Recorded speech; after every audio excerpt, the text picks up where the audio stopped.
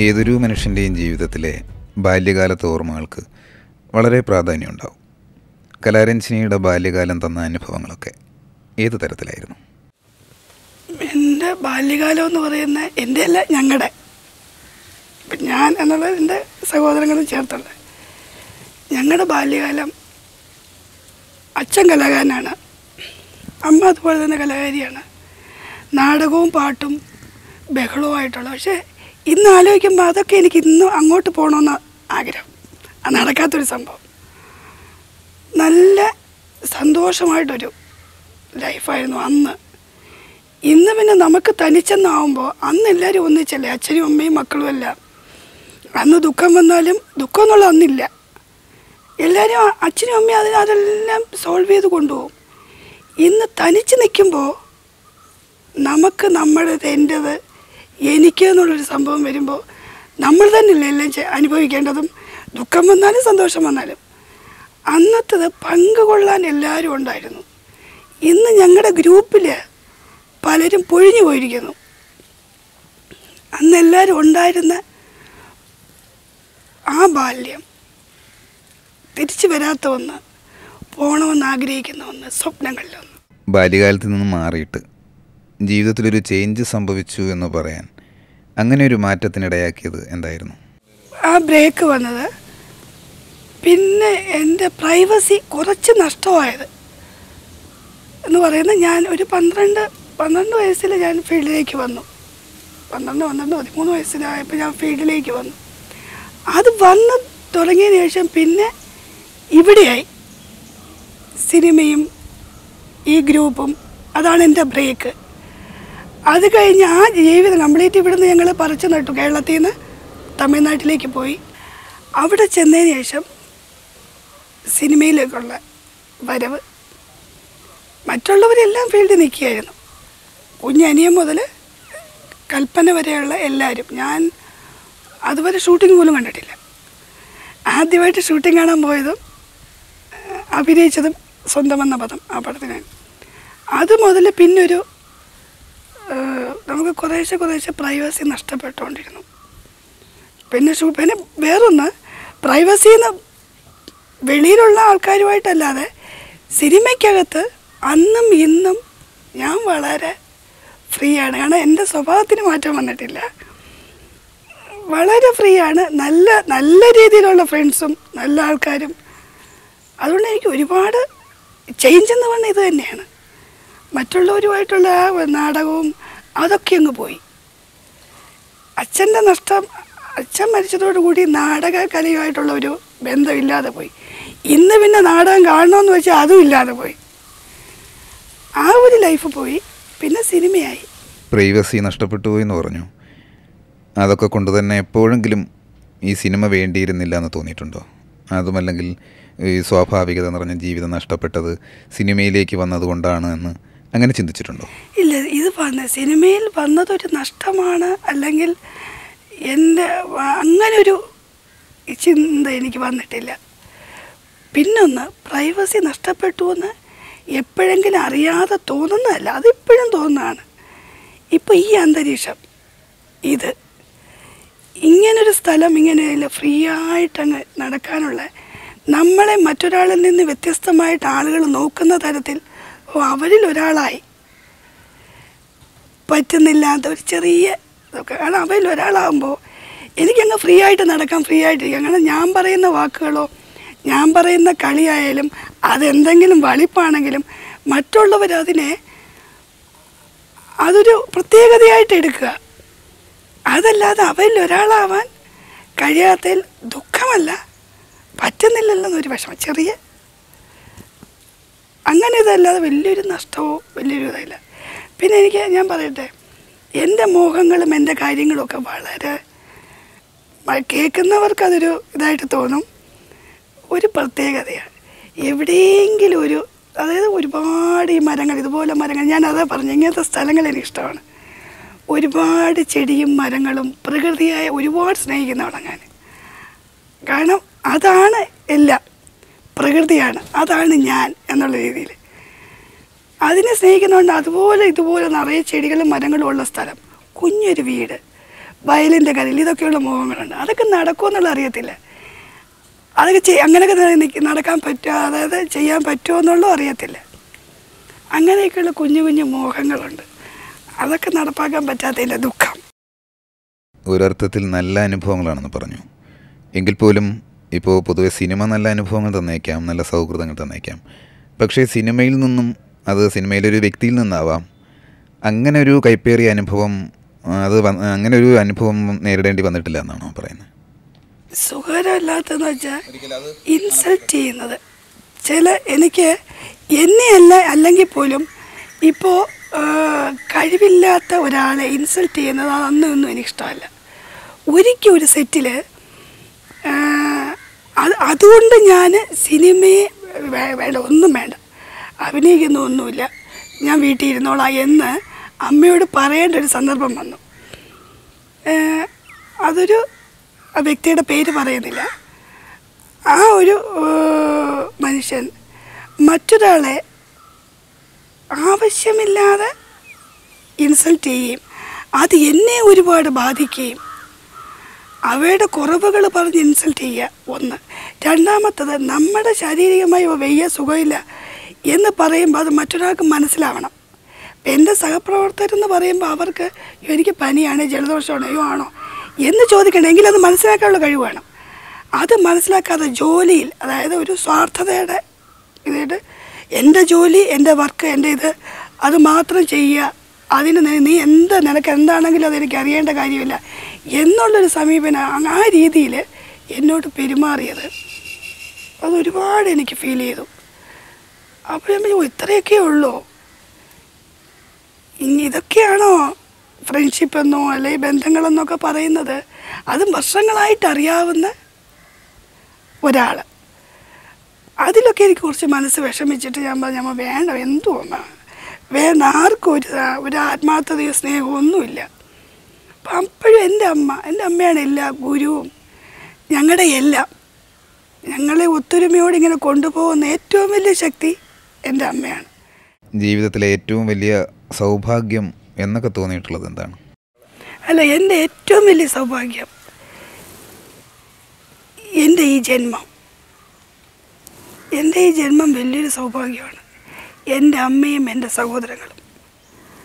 അത് മറ്റൊരാൾ എനിക്കങ്ങ് വളരെ വളരെ ഉറച്ചു പറയാം. ഒരിക്കലും വഴക്ക് കൂടാതെ ചെറിയ രീതിയിൽ പോലും തമ്മി തമ്മി തല്ലാതെ കൊണ്ടുപോകുന്ന സഹോദരങ്ങളാണ് ഞങ്ങൾ ഒരു ദിവസം ഒരു മൂന്ന് നാല് പ്രാവശ്യമെങ്കിലും തമ്മി തമ്മി ആരെവിടെ ഇരുന്നാലും എന്ത് ചെയ്യുന്നു എന്താണ് എന്ന് പറഞ്ഞു അതുപോലെ തന്നെ ഞങ്ങൾ പിന്നെ എന്നെ ചേച്ചി എന്ന് വിളിക്കുന്നത് വളരെ കുറവാണ് അങ്ങോട്ടും ഇങ്ങോട്ടും മക്കളെ എന്നാണ് വിളിക്കുന്നത് അങ്ങനെ ഞങ്ങൾ സംസാരിക്കുന്നത് അപ്പം അവളെവിടെ മിനിമോൾ എവിടെ ഉണ്ടോ പൊടിമോൾ എവിടെ ഉണ്ടോ അവ- അവൾക്ക് എന്താ എങ്ങനെ ഇരിക്കുന്നു അതുപോലെ തന്നെ അവർ എന്നെയും. രാത്രി പന്ത്രണ്ട് ഒരു മണി വരെ അവർ ഷൂട്ടിംഗ് സ്ഥലത്ത് കഴിഞ്ഞിട്ട് വന്നാലും അല്ലെങ്കിൽ ഞാൻ കഴിഞ്ഞിട്ട് വന്നാലും ആര് വരുന്നോ അവർ വിളിച്ച് എല്ലാവരുടെ അന്വേഷണം പറയും. പറയണമെന്നുള്ള നിർബന്ധമാണ് എന്റെ അമ്മയ്ക്ക്. പിന്നെ എന്റെ അമ്മ ഞങ്ങളുടെ മക്കൾ അവരും ഇപ്പോൾ അതുപോലെയാണ് ഒത്തിരി ഒരുമിച്ച് ആണ് വളർത്തുന്നത് എല്ലാവരെയും ഞങ്ങളുടെ എല്ലാവരുടെയും മക്കൾ അമ്മയുടെ കൂടെയാണ് അപ്പോൾ അതുകൊണ്ട് അവരും അതുപോലെയാണ് അവരെയും വളർത്തുന്നത് അതുപോലെയാണ്. എന്റെ ഏറ്റവും വലിയ സൗഭാഗ്യം എന്റെ സഹോദരങ്ങളും എന്റെ അമ്മയും. പൊതുവെ സന്തോഷം നിറഞ്ഞ സാഹചര്യങ്ങളിലെ ജീവിതത്തിന് എപ്പോഴെങ്കിലും ഒരു ഭംഗം വന്നിട്ടുണ്ട് എന്ന് ചിന്തിക്കാൻ ഇടയാക്കിയിട്ടുണ്ടോ. വിവാഹ ജീവിതം എന്ന് പറയുന്നത് അതാണ് ഈശോൻ എല്ലാം തികഞ്ഞ് എല്ലാവർക്കും കൊടുക്കാറില്ല. എനിക്ക് എനിക്കെന്നതല്ല പലരുടെയും ജീവിതം എടുത്തു നോക്കിയാൽ പലർക്കും വിവാഹ ജീവിതം ഒരു പൂർണതയില്ല. അതൊരു മൈനസായിട്ട് തന്നെ കിടക്കും. അതിൽ നിന്നൊട്ടും വിഭിന്നമല്ല എന്റെയും അതൊരു വലിയൊരു പിന്നെ വേറൊന്ന്. ഈശോൻ അതും എനിക്കൊരു നന്മയായിട്ടാണ് ഞാൻ ഇപ്പോൾ കരുതുന്നത് എന്റെ സഹോദരങ്ങളോട് എന്റെ അമ്മയോടും എന്റെ മക്കളോടും ഒന്നിച്ച് കഴിയാനുള്ളൊരു ഭാഗ്യം ദൈവം തന്നതിന് നന്ദി. ഞാൻ അതൊരു നല്ലൊരു സംഭവമായിരുന്നെങ്കിൽ ഞാനിന്നും തനിച്ചായനെയും തിരിച്ചെനിക്ക് ഇങ്ങോട്ട് വരാനോ തിരിച്ചല്ലെങ്കിൽ എന്റെ സഹോദരങ്ങളോടോ എന്റെ അമ്മയോടോ എന്റെ മക്കളോടോ ഒന്നിച്ച് കഴിയാനോ ഒരുപാട് പറ്റുമായിരുന്നില്ല. അതിന് ദൈവം തന്ന പിന്നെ അതൊരു പരാജയമായിട്ട് പറയാൻ വേണ്ടി ഞാനത് കണക്കിലെടുത്തിട്ടില്ല. വളരെ കുറഞ്ഞ ജീവിതമായിരുന്നു. കുറച്ച് ദിവസങ്ങൾ. അതുകൊണ്ട് അതൊന്നും വലിയ കണക്കിലെടുത്തിട്ടില്ല. ഞാനിന്ന് ഹാപ്പിയാണ്.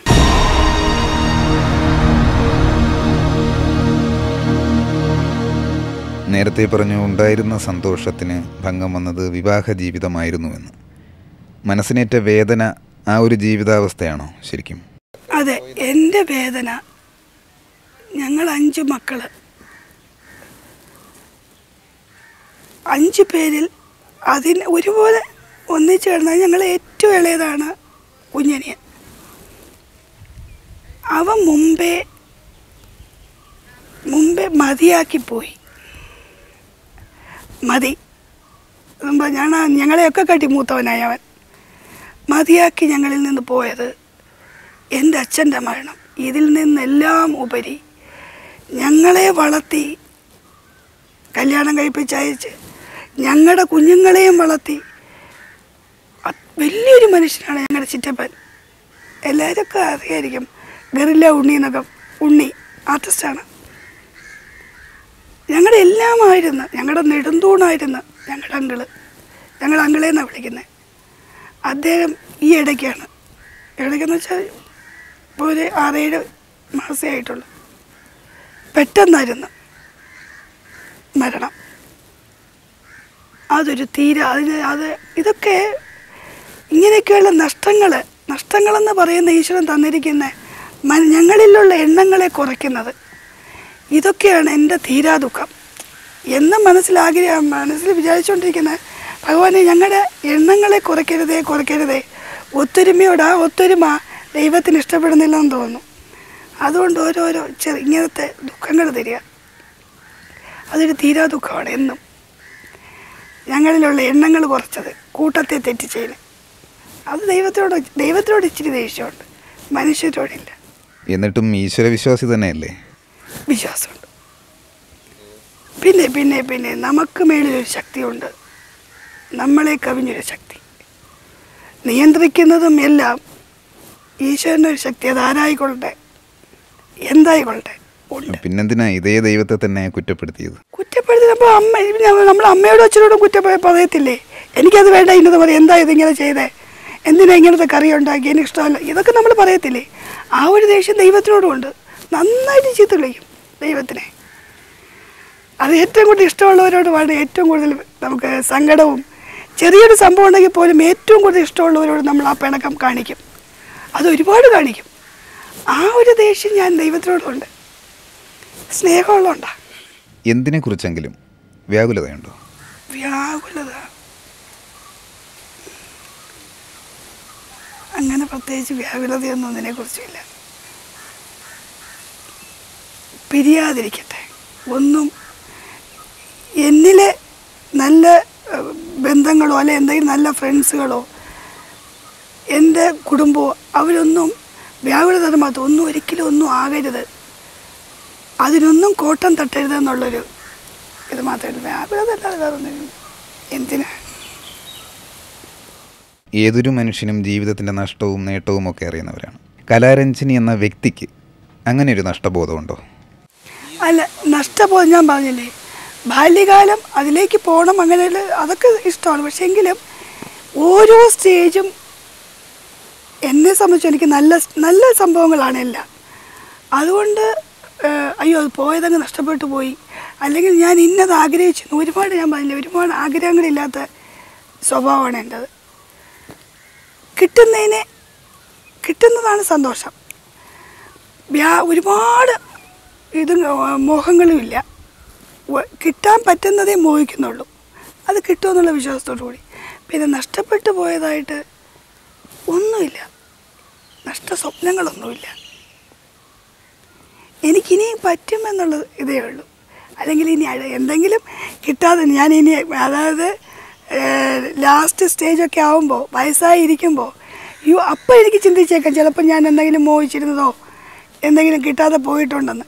അപ്പം ഇതുവരെ എനിക്ക് എന്തെങ്കിലും ഞാൻ മോഹിക്കുന്നുണ്ടെങ്കിൽ അത് നടക്കും എന്നുള്ള വിശ്വാസമുണ്ട്. അടുത്തത് പിന്നെയുള്ളത് അത് അടുത്ത ജന്മത്തെ ഇത് കിട്ടാതെ പോയിട്ട് ഞാൻ വയസ്സുകാലത്ത് ഞാൻ ചിന്തിക്കുകയാണെങ്കിൽ അതിന് അടുത്തൊരു ജന്മം ഉണ്ടെന്ന് വിശ്വസിക്കുന്നുണ്ട്. അതൊരു വിശ്വാസമുണ്ട് കേട്ടോ. ജന്മങ്ങളിൽ വിശ്വാസമുണ്ട്. അത് എഴുതി വെച്ചിരിക്കുന്നത് ശരിയാണോ ശരിയോ തെറ്റോ?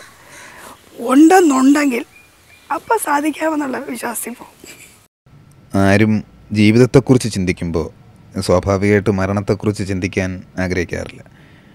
ഒരുപക്ഷെ അതിന്റെ വേദന കൂടുതൽ അടുത്തറിഞ്ഞ ആളാണല്ലോ. ഈ അവസ്ഥയെ എങ്ങനെയാണ് എങ്ങനെയാണ് കാണുന്നത് അത് നമ്മുടെ നിഴലാണ്. ഞാൻ കാണുന്നത് എന്റെ നിഴലായിട്ടാണ്. ഏതൊരു മനുഷ്യനെയും എന്റെ കാഴ്ചപ്പാടിൽ എന്നാൽ എന്റെ നിഴലാണ് എന്റെ മരണം. നമ്മുടെ കൂടെ തന്നെ ഉണ്ട്. നമ്മൾ വരുമ്പോൾ തന്നെ നമ്മുടെ കൂടെ തന്നെ ഉണ്ട്. റിട്ടേൺ ടിക്കറ്റും കയ്യിലെടുത്തുകൊണ്ടാണ് വരുന്നത്. അതറിയില്ലെന്ന് മാത്രം. പിന്നെ ചിലപ്പോൾ പെട്ടെന്നായിരിക്കും. ചിലപ്പോൾ കുറച്ച് ലേറ്റായിട്ടായിരിക്കും. ഓ കിടന്ന് കിടന്ന് ഇത്രയും നാളായല്ലോ. അങ്ങനെയായിരിക്കും. പക്ഷേ എങ്കിലും മരണം ഒപ്പമുണ്ട്. പെട്ടെന്ന് പെട്ടെന്ന് വരുന്നു. തനിച്ച് വരുന്നു. ഏകയായി വരുന്നു. കൂട്ടിനാളെയും വിളിച്ചോളും. തിരിച്ചു പോകുമ്പോൾ കൂട്ടിന് കൊണ്ടുപോകുന്നു നമ്മൾ ഓരോരുത്തരെയും. മരണം നല്ലൊരു സുഹൃത്താണ്. അപ്പം ഞാൻ പറഞ്ഞിരിക്കുന്ന മരണത്തിനോട് ഞാൻ പറഞ്ഞിരിക്കുന്ന പറഞ്ഞിരിക്കുന്ന വെച്ചാൽ ഞാൻ എഴുതി വെച്ചിരിക്കുന്ന എന്റെ ലെറ്ററുകൾ. നീ ഓരോ ഓരോ പ്രാവശ്യം എന്റെ വീട്ടിൽ വിസിറ്റ് ചെയ്തിട്ടുണ്ട്. ഓരോ പ്രാവശ്യം കൂട്ടിന് ഓരോരുത്തരെ കൊണ്ടുപോയിട്ടുണ്ട്. ദുഃഖങ്ങൾ മാത്രം തന്നത്. മനസ്സിലാക്കി തുടങ്ങുന്നു ഞാനിപ്പോൾ. അതുകൊണ്ട് എന്നെങ്കിലും എന്നെ കാണാൻ വരുന്നെങ്കിൽ വരണ്ട ഞാൻ അങ്ങോട്ട് വന്നോളാം എന്നുള്ളൊരു അണ്ടർസ്റ്റാൻഡിങ്ങിൽ നിൽക്കുകയാണ് മരണവും ഞാനും തമ്മിൽ. അത് കുറച്ച് ദൂരമുണ്ട് കുറച്ച് നേരമെടുക്കും.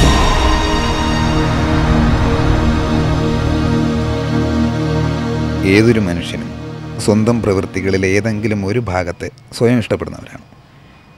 അങ്ങനെ സ്വയം ചിന്തിച്ചാൽ സ്വന്തം സ്വഭാവത്തിലെ പെരുമാറ്റത്തിലെ ഏത് ഭാഗത്തെയാണ് കൂടുതൽ ഇഷ്ടം? ഞാൻ എന്നിലെ ഞാൻ. ഞാൻ പറഞ്ഞില്ലേ എന്നിലെ ഞാൻ എന്ന് പറയുന്നത് എനിക്കൊരുപാട് ബന്ധങ്ങളുണ്ട്. ഒരുപാട് സുഹൃത്ത് വലയങ്ങളുണ്ട്. അപ്പോൾ സുഹൃത്ത് വലയം എന്നൊക്കെ പറയുന്നത് എന്റെ സുഹൃത്ത് വലയങ്ങൾ ഹായ് ഹായ് പറഞ്ഞുള്ളതുണ്ട്. അത് സുഹൃത്തുക്കൾ മാത്രം. അല്ലാതെ എന്തും നമുക്കേത് ഏത് പ്രായവ്യത്യാസമെന്നേ എന്തും തുറന്ന് പറയാൻ പറ്റുന്ന? അല്ലെങ്കിൽ അത് ഉൾക്കൊള്ളുന്ന? എന്റെ കുറേ നല്ല ഫ്രണ്ട്സ് എന്ന് പറഞ്ഞുള്ള ചീപ്പ് വാക്ക് വേണ്ട. അതിൽ കളങ്കമുള്ള വാക്ക് ആ വാക്ക് എനിക്കിഷ്ടമല്ല. അതുകൊണ്ട് ആ എന്നിലെ ഞാൻ എന്നവരെ ഞാൻ വിളിക്കുന്ന അവരെ സൂക്ഷിച്ചിരിക്കുന്ന എന്റെ മനസ്സിലാണ്. ഞാനെന്ന കലാരഞ്ജിനി ഞാൻ മാറ്റി നിർത്തിയാൽ വെറും ബോഡിയാണല്ലോ അത്. ബാക്കിയുള്ള ബോഡിയാണ്. മരിച്ചു കഴിഞ്ഞാൽ ഞാനെന്നുള്ളത് കലാരഞ്ജിനി എന്നുള്ളത് പിന്നെ ആ ബോഡിക്ക് ആ പേരല്ലല്ലോ വിളിക്കുന്നത് ശവം എന്നല്ലേ പറയുന്നത് എന്റെ സ്വഭാവം അല്ലെങ്കിൽ എന്റെ മനസ്സ് എനിക്കിഷ്ടമാണ്. ദീനരായിട്ടിരിക്കുന്നവരെ കണ്ടാൽ അവരോട് തോന്നുന്ന ദയ എനിക്കിഷ്ടമാണ് എന്നെ. ഞാൻ പറഞ്ഞില്ലേ ദുഷ്ടത്തരം കാണിക്കുന്നവന്റെയും ആ ഭാഗത്തിനെ ആ മനുഷ്യനെയല്ല വെറുക്കുന്നത്. അവനിലുള്ള സ്വഭാവത്തിനെ വെറുത്ത് ആ മനുഷ്യന്റെ നന്മയെ തിരിച്ചറിയാൻ കഴിയുന്ന എന്റെ മനസ്സിനെ എനിക്കിഷ്ടമാണ്. നല്ല സൗഹൃദങ്ങൾ കാത്തു സൂക്ഷിക്കുന്ന ആളാണെന്ന് പറഞ്ഞു. എങ്കിലും ഒരു ആത്മാർത്ഥ സുഹൃത്ത് എന്ന് ചിന്തിച്ചു കൊണ്ട് നടക്കുന്നത് അക്ഷരങ്ങളെയാണെന്ന് ഇടയ്ക്ക് പറഞ്ഞു എന്ന് തോന്നുന്നു. അല്ല എന്റെ അതെ സത്യമാണ്. കാരണം വായിക്കും. നല്ല നല്ല നല്ല പുസ്തകങ്ങളെന്ന് ഞാൻ ഉദ്ദേശിക്കുന്നത്. ചിലപ്പോൾ അങ്ങേ അറ്റമുള്ള വലിയ ഗ്രന്ഥങ്ങളോ അങ്ങനത്തെ പുസ്തകമായിരിക്കും. അല്ലെങ്കിൽ ബോബനും മൂടിയും വരെ. ഇങ്ങേ അറ്റമുള്ള ബോബനും മോടിയും പൂമ്പാറ്റ അങ്ങനത്തെ പുസ്തകങ്ങൾ വരെ. ഇടയ്ക്കുള്ള ചില അല്ലാത്ത ഈ ആഴ്ചയിൽ ആഴ്ചയിൽ ബാക്കി നാളെ വായിക്കാം എന്നുള്ള രീതി ഈ പിന്നെ സീരിയലുകൾ പോലെ പകുതി വെച്ചിട്ട് ബാക്കി നാളെ. അങ്ങനത്തെ ഒരു ക്ഷമയില്ല എനിക്ക്. ഓ അതിന്റെ ഫിനിഷിങ് ആയിട്ട് മതി. പിന്നെ അത് അത് മാത്രമല്ല അത് കിട്ടത്തില്ല. പിന്നെ അതിന് വേണ്ടി ഒരു ടെൻഷൻ. അപ്പോൾ അതിനോടൊന്നും താല്പര്യമില്ല. നല്ല പുസ്തകങ്ങൾ വായിക്കും. അതെന്റെ എന്റെ ഏറ്റവും വലിയ കൂട്ടാണ്. എന്റെ മനസ്സിന്റെ കൂട്ടാണത്. പിന്നെ എനിക്ക് തോന്നുന്നത് വലിയ എഴുത്തുകാരിയോ അങ്ങനെ ഒന്നും അങ്ങനത്തെ രീതിയിലൊന്നും എന്നെ പറയാൻ പറ്റത്തില്ല. എനിക്ക് തോന്നുന്ന നമ്മളൊരു സുഹൃത്തിന് എഴുതുന്ന ലെറ്റേഴ്സ് പോലെ മാത്രമേ ഉള്ളൂ. എന്റെ മനസ്സിൽ തോന്നുന്ന കാര്യങ്ങൾ ഞാൻ വെറുതെ എഴുതി വയ്ക്കുന്നു എഴുതി തീരുമ്പോൾ ഒരു ഫ്രീ ആവുന്നു. ഒരാളോട് ഒരുപാട് കാര്യങ്ങൾ പറഞ്ഞതുപോലെ.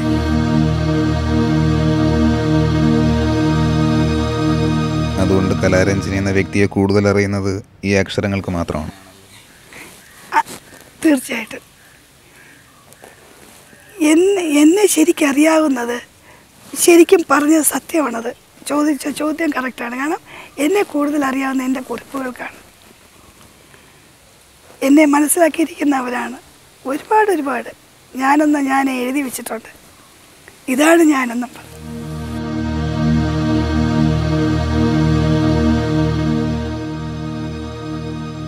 ജനനത്തെയും മരണത്തെയും കുറിച്ചൊക്കെ പറഞ്ഞല്ലോ. വിശ്വാസങ്ങൾ മുറുകെ പിടിച്ച് കഴിയുന്നത് കൊണ്ട് തന്നെ. പുനർജന്മത്തിലൊക്കെ വിശ്വാസമുണ്ടോ? പുനർജന്മം ഞാൻ ഞാൻ പറയട്ടെ. എന്ന് വിശ്വസിക്കാം നമുക്ക്. എന്തുകൊണ്ട് വിശ്വസിച്ചുകൂടാ? ഇല്ല എന്ന് പറയാൻ വളരെ അടിച്ച് പറയാൻ വേണ്ടി ഒന്നുമില്ല. നമ്മുടെ പുരാണങ്ങളും പിന്നെ ഗ്രന്ഥങ്ങളും എല്ലാം നോക്കുമ്പോൾ അതിനകത്ത് ജന്മങ്ങളെക്കുറിച്ച് ഇടയ്ക്ക് ചോദിക്കുകയാണ്. അങ്ങനെ ഒരു ജന്മമുണ്ടെങ്കിൽ ആ ഉണ്ട്. അങ്ങനെ ഉണ്ടെങ്കിൽ എന്താണ് ആഗ്രഹം? ഞാൻ ഞാനായിട്ട് തന്നെ ജനിക്കണം. ഇപ്പോഴുള്ള എന്റെ കുടുംബത്തിൽ അല്ലെങ്കിൽ എന്റെ സഹോദരങ്ങൾക്കിടയിൽ ഞാൻ ഇപ്പോൾ ഉള്ള ഈ ഞാനായിട്ട് തന്നെ ജനിക്കണം. തിരിച്ചറിയാൻ കഴിയണം. മന അപ്പോൾ മനുഷ്യന്റെ മനസ്സുകളെ മനസ്സിലാക്കാൻ കഴിയുന്ന ഇപ്പോഴുള്ള എന്റെ എന്നെ എനിക്കിഷ്ടമാണല്ലോ. ഈ ഇഷ്ടം അന്നും എനിക്ക് എന്നോട് വേണം. എന്നിലെ എന്നെ ഞാൻ ഇഷ്ടപ്പെടണം. ഈശ്വരനുണ്ടെന്ന് വിശ്വസിക്കണം. മാറുന്നു മാറി നിന്ന് ചിന്തിക്കുമ്പോൾ കലാരഞ്ജിനി എന്ന സ്ത്രീ ഒരു പൂർണയായ സ്ത്രീയാണ് എന്ന് പറയാൻ കഴിയുമോ എല്ലാ അർത്ഥത്തിലും പൂർണത തീർച്ചയായും. പൂർണത എന്തിലാണ് നിങ്ങൾ പൂർണത ഇല്ല എന്ന് ഉദ്ദേശിക്കുന്നത്? ഇപ്പോൾ ഒരാൾ കലാരഞ്ജിനി വിട്ടേക്കുക മറ്റൊരാളെ നോക്കിയാൽ പൂർണത എന്ന് പറയും ഒരു സ്ത്രീയെ പൂർണത എന്ന് പറയുന്നതിൽ എന്തിലാണ്? ഒരാ ഒരു വിവാഹിത കല്യാണം കഴിഞ്ഞ് ഒരു കുഞ്ഞിന്റെ അമ്മ കുടുംബജീവിതം അതൊക്കെ ഒരു പൂർണമായ ഒരു സ്ത്രീയാണ് എല്ലാവരും അത് വെറുതെ എഴുതി വെച്ചിരിക്കുന്നതാണ്. കല്യാണം കഴിഞ്ഞില്ലെങ്കിലും അമ്മയായില്ലെങ്കിലും നല്ലൊരു വ്യക്തിയുടെ ഉടമയാണെങ്കിൽ നല്ലൊരു മനസ്സിന്റെ ഉടമയാണെങ്കിൽ അവൾ പൂർണതയുള്ള പൂർണതയാണ് അവൾക്ക്. പൂർണയായ വ്യക്തിയായിരിക്കും. മനസ്സാണ് പൂർണത വരേണ്ടത്. അല്ലാതെ ജീവിതചര്യകളിലോ ജീവിത ഇങ്ങനത്തെ ഇങ്ങനെയുള്ള സംഭവങ്ങളിലോ ഒന്നുമല്ല പൂർണത. മനസ്സ് പൂർണമായാൽ പൂർണത വന്നെങ്കിൽ വ്യാമോഹങ്ങൾ പാടില്ല. വെറുതെ അത് പറഞ്ഞ ഒരുപാടുണ്ട്.